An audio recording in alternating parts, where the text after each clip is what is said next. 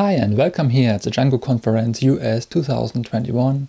I'm Thomas Güttler from Germany working for Descript. And today I want to talk about HTMX make web development simple and fun again. So this won't be an academic, too detailed or dry talk. I want it to be personal, opinionated and fun.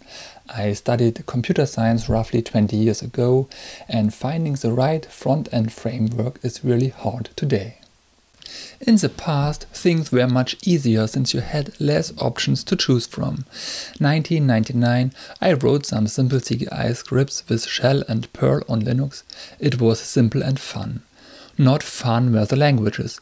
Perl was ugly, Shell not secure and not reliable, and Java and C++ too complicated. 2001 I found Python. This was fun, easy to read.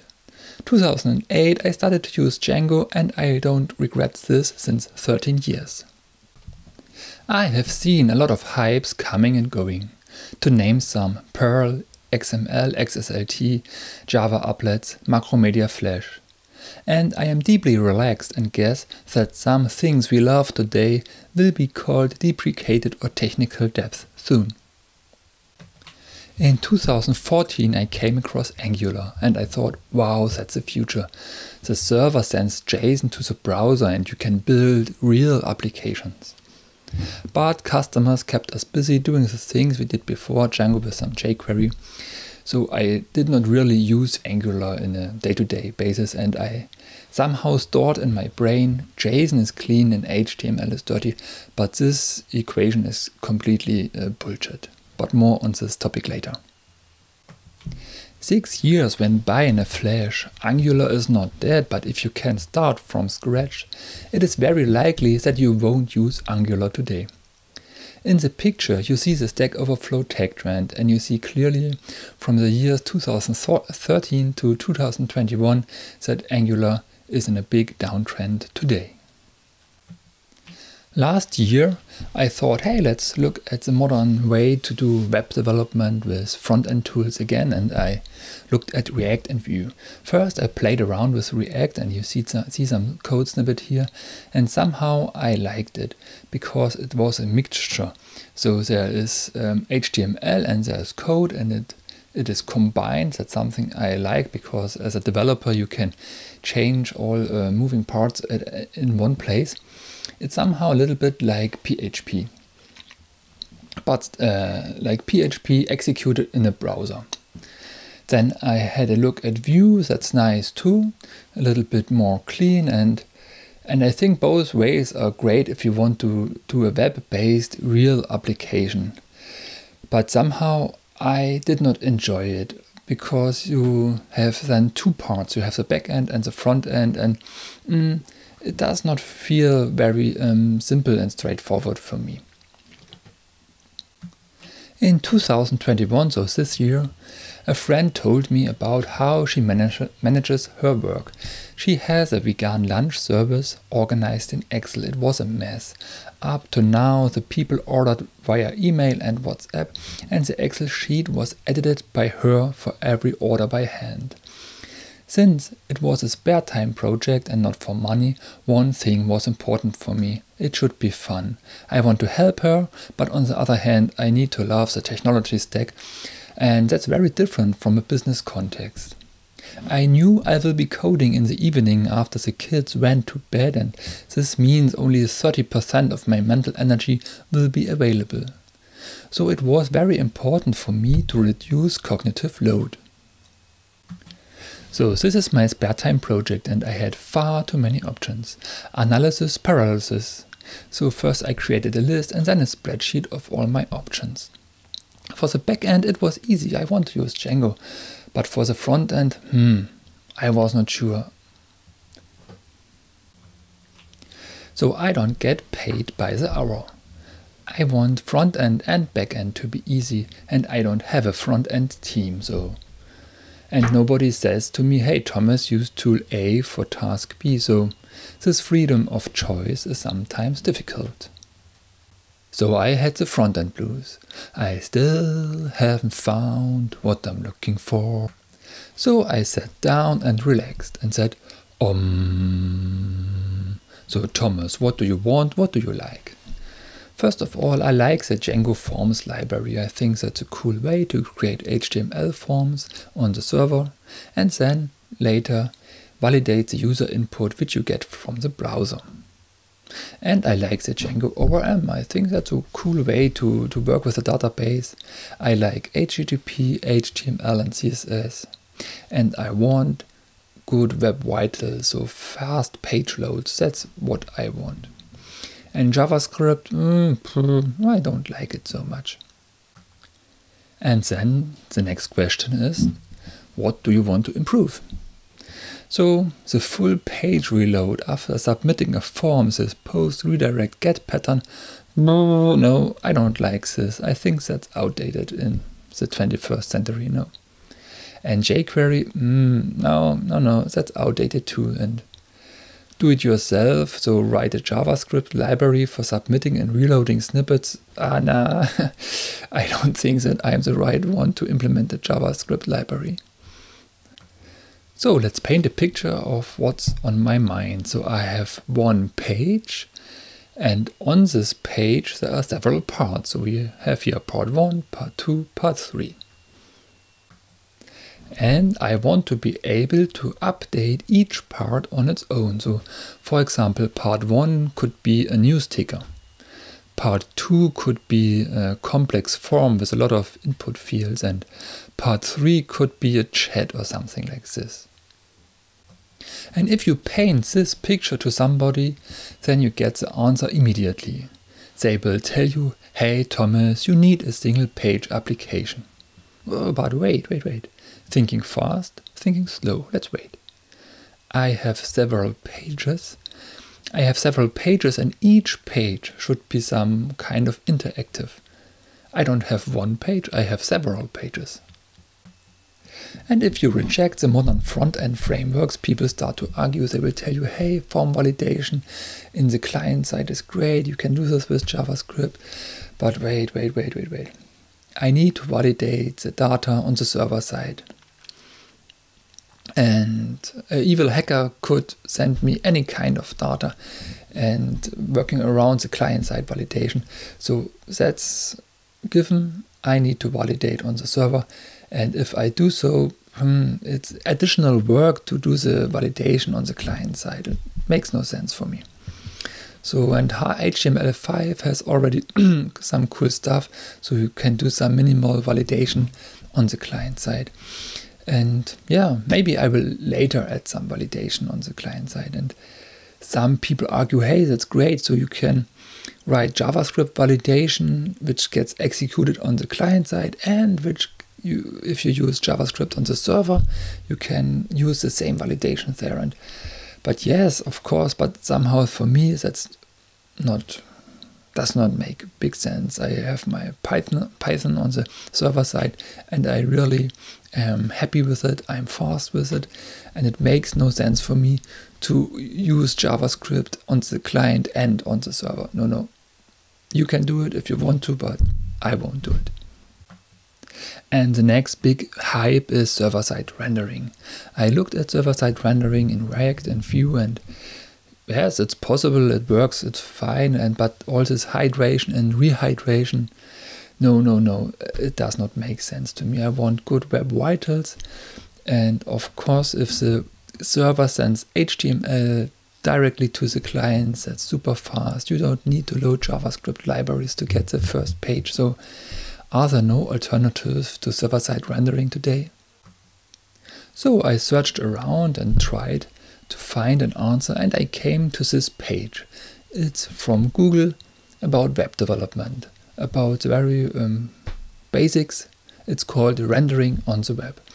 And here you can see five columns and the first column that's the very old traditional way of web development. So we create HTML on the server and send this HTML to the browser.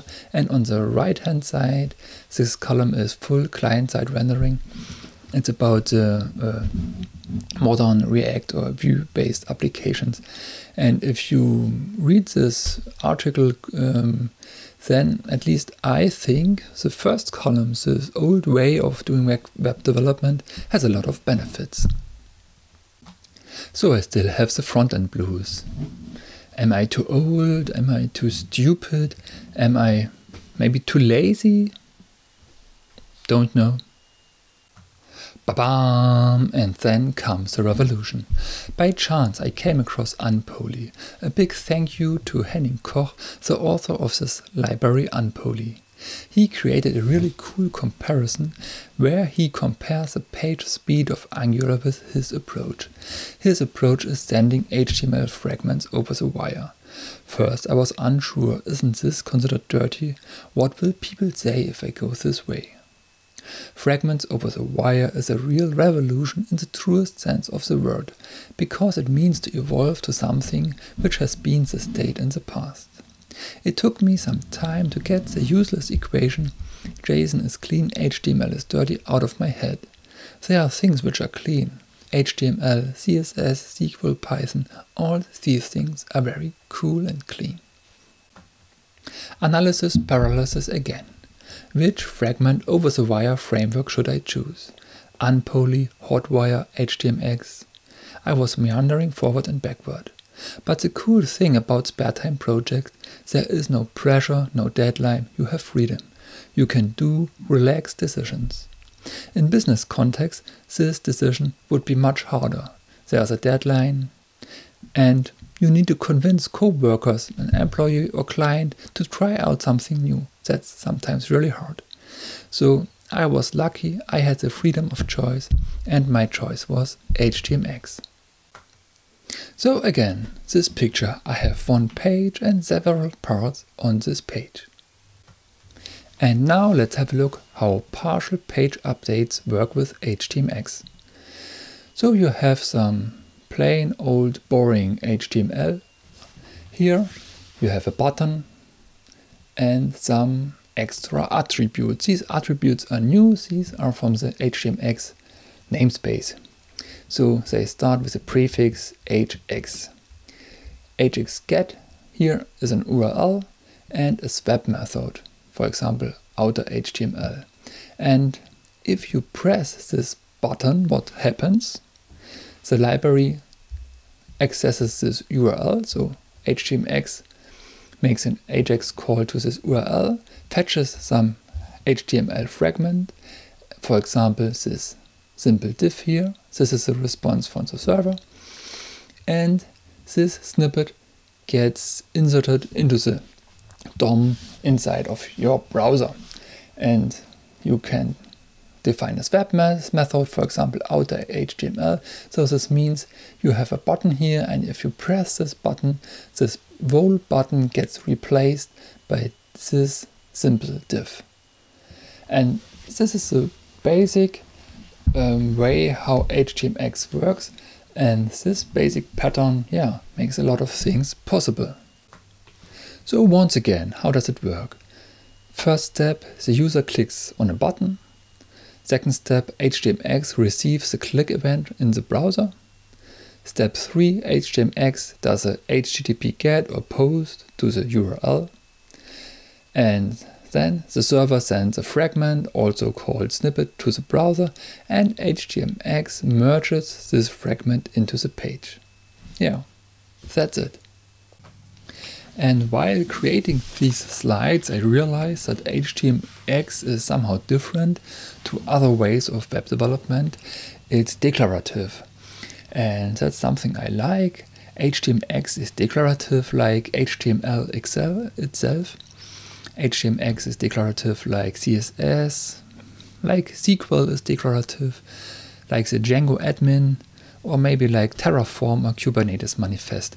So declarative is somehow, um, yeah, a very professional way of working and doing things. Here are some facts about HTMX. HTMX is written in JavaScript so that you don't need to write JavaScript anymore. It works with every language on the server side. This means you can use Python, Go, Rust, whatever you want on the server side. The library is very small and the initial page you send from the server to the client usually, usually just contains HTML with some additional attributes. So this can give you very good web vital scores because the largest contentful paint measures the loading performance. And since no JavaScript is involved during this loading, the LCP score is usually very good because you only need the HTMX things if you have some kind of inter interactivity. But the first load is completely without HTMX and this is then very fast. So let's have a look at some examples here. And all these examples are available online on htmx.org examples. Let's have a look at click to edit. So let's jump to the demo right away. We have here a first name, last name and an email address. And if I click here, click to edit, I suddenly have a form. Now I can fill in this form and I can submit this form and that's exactly what I was looking for so we have a part on this page and this part is interactive that's cool and all these other things like scroll position and so on stays the same. Hmm. that's what I was looking for. And the cool thing is that all these examples have this show here. And there you can see a log. Yeah, so you can see what happened behind the scene. So at the beginning we had an initial state, we had a div with an HX target of this and a swap method, and we had a button, and this button here is hx get and an URL. And if I click this button here, click to edit, what I did, then HTMX um, does an Ajax call to this to this URL and fetches what it gets there. And he and HTMX gets a fragment there. So the server side send, sends HTML to the browser, but not a, a whole HTML. It's um, just a fragment. So let's have a look at the second step. That's a response from the server. And in this response, you see uh, this form here and you see there's no HTML head tag there's no head or body tag, it's just a fragment, and it, it, it's not a JSON or something like that. It's just plain HTML, it's an HTML fragment. Okay, and this is a form like you know it, it's with an input type text, for example, here, and this form here has hx put. This means if I submit this form, HTMX sends the data via HTTP put to this, to this URL. Okay, this way I can update the state on the server and then the server sends me some data back. For example, roughly the same div again, but this time, this time my daughter is in the div here. And that's exactly what I was looking for. It took me some time to find it really, several weeks until I uh, found the library I want to do my front end work with and now I found it. I'm very happy. So, so let's have a look at our second example here, cascading selects. I guess most developers already implemented some kind of cascading select. It's quite straightforward. So you have first the first select and then the second select. And if you choose, for example, Toyota in the first, then the second one updates and now you see only these options which correspond to the, this first one. So if I choose BMW here, then the model list updates to BMWs. That's very um, simple and straightforward. And the cool thing is that you don't need a single line of JavaScript to implement this here. So HTMX is very flexible. Also, it's quite simple. Let's have a look how it all works. You have the initial state. Here it's a select. And here's this hx attribute get. So if you select something here, so this URL gets called and new models are fetched from this URL and this time the HX target is a different one, so not this select gets updated, but the second one here, this with the ID models gets updated uh, by this target target selector. Yes, and that's all you need to implement cascading select.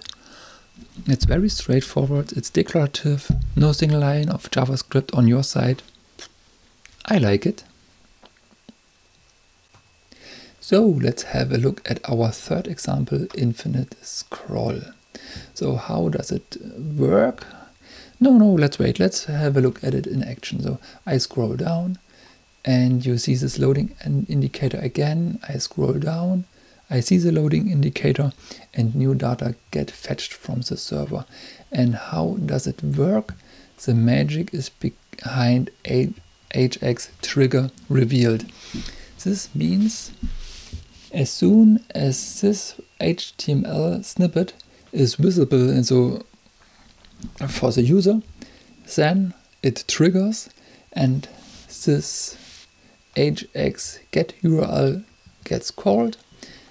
The server sends an HTML fragment to the, the browser and there HTMX inserts and swaps this fragment into the DOM and here's a method after end. Okay, that's all. So the trigger revealed happened. The server sends data to HTMX. HTMX inserts the new data after end. So again, no JavaScript involved. It's just declarative. It's straightforward and it's very, yeah, simple. I like it.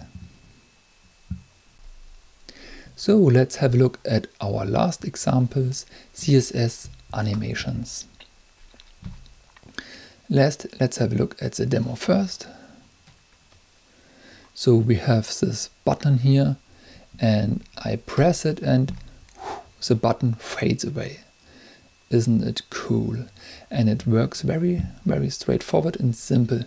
You have this CSS class on this button which is called fade me out and then you have the usually usual HX attributes, for example, swap the outer HTML.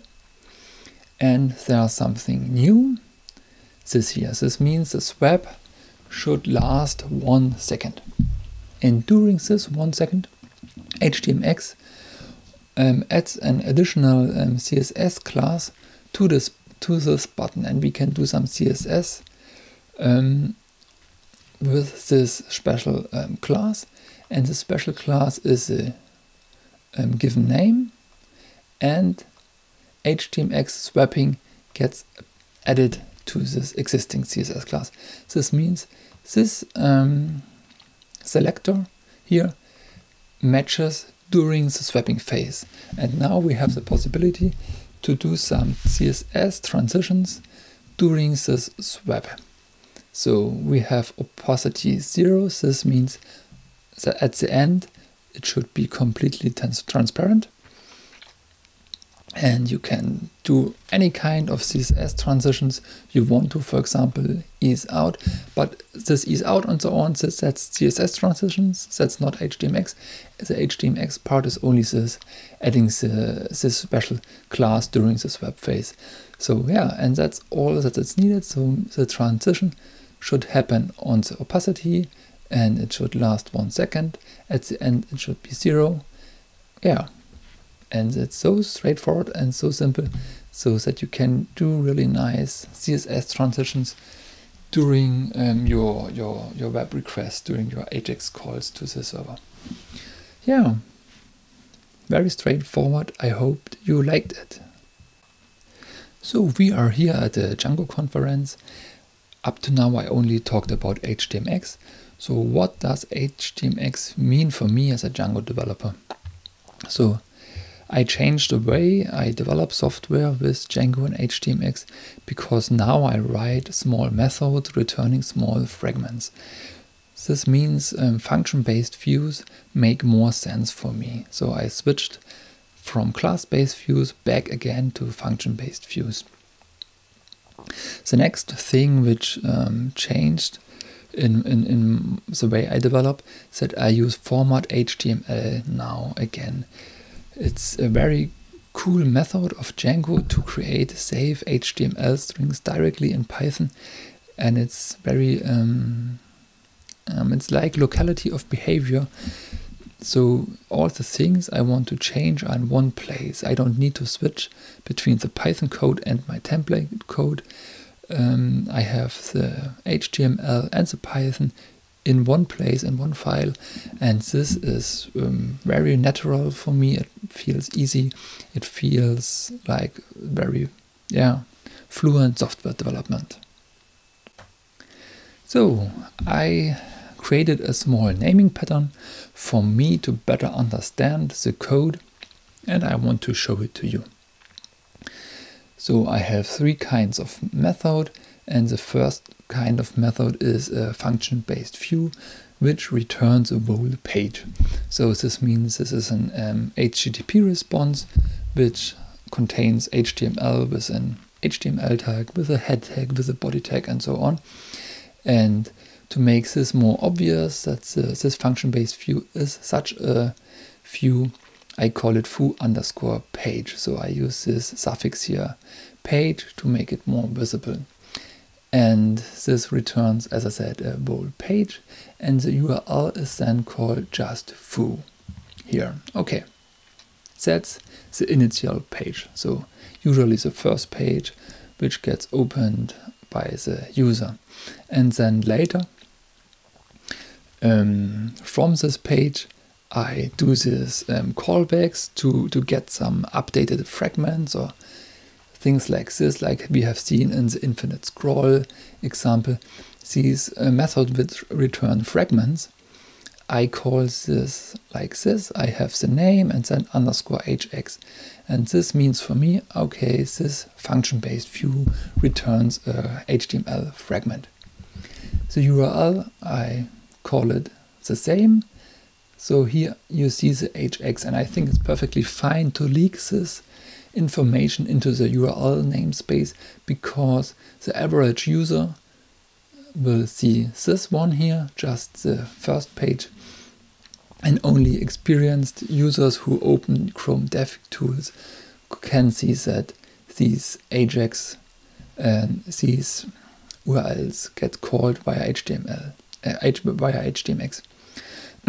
okay, these two kinds are uh, function-based views and sometimes I need a utility method where I create some HTML and this HTML gets used uh, in several places in several function-based views and then I create a method with the name underscore HTML and there I immediately see ah that's a method which returns HTML directly.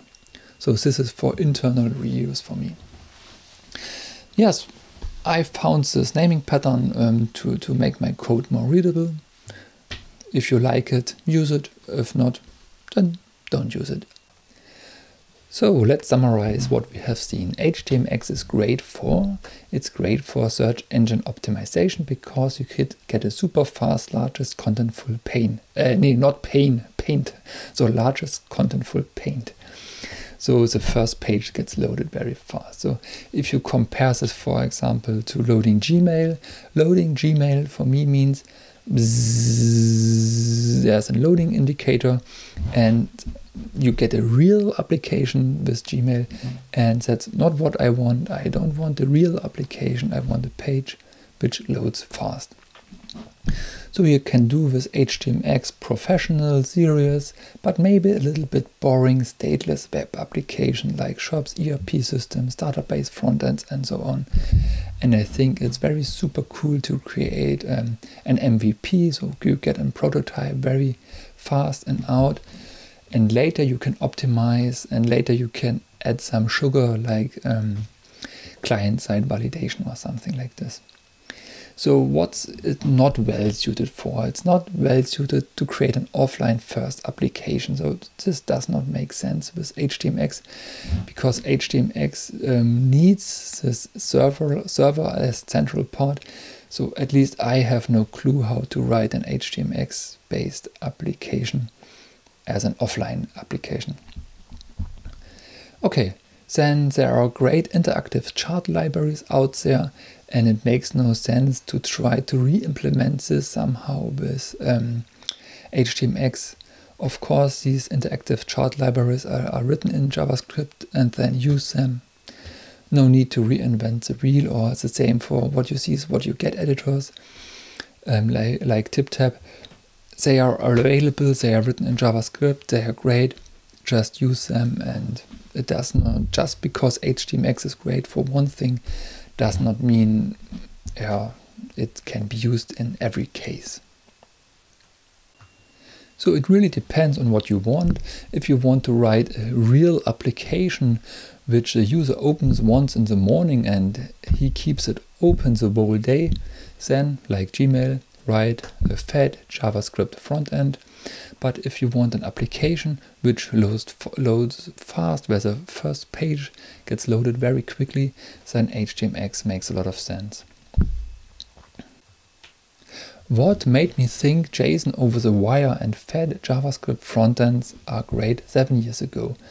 One thing was this picture here.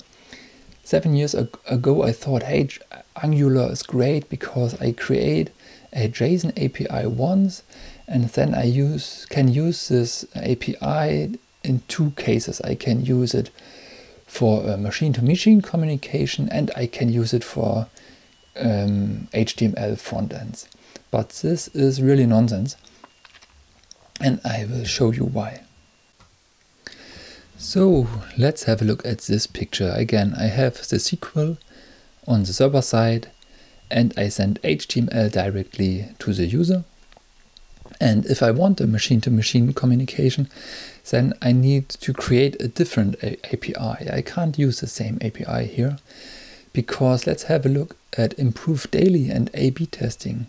For my user interface, I want to improve daily and I want to do A-B testing and other fancy stuff. And now let's have a look at the stable API. I don't want to improve daily here. I don't want to um, do A-B testing on a stable API. So it's nonsense that you um, save some time by creating by by by splitting front end and back end because ah you, you later I will need a machine to machine communication and if I split my front end and back end now then in 10 years I save me three hours of work that's nonsense so usually you create a user interface first and then focus on the user interface make it a great HTML um, user interface and if you later need some um, machine-to-machine communication and some APIs, yes, of course, create them, but please don't put um, the one thing onto or upon the other. This, at least for me, makes no sense. Now, is this the end of my odyssey? I don't know. Maybe it is just the beginning. At least I solved my front-end blues for now. But the next question is, how to create HTML on the server side. At least I, I want to work with Python.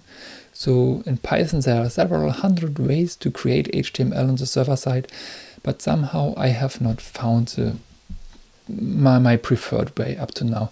I really like the Python f strings, but um, they don't escape the data which I put into the string. So it's very likely that uh, I could get something wrong here. So that's up to now. Now I use the format HTML, but it would be really cool to have a mixture of format HTML and F strings. Maybe like in JavaScript, there's something called uh, template literals, which use these backticks. And this would be really cool if, if Python would have these backstrings with the possibility to auto escape the data. Yes, that would be heaven at least. Uh, but this would this is this would need a change in Python itself, and uh, I'm not a Python um, hacker, so I have not uh, worked on the core up to now. Maybe someone of you has an idea how you could get something like these JavaScript template literals with backticks into Python. This would be really cool, yeah.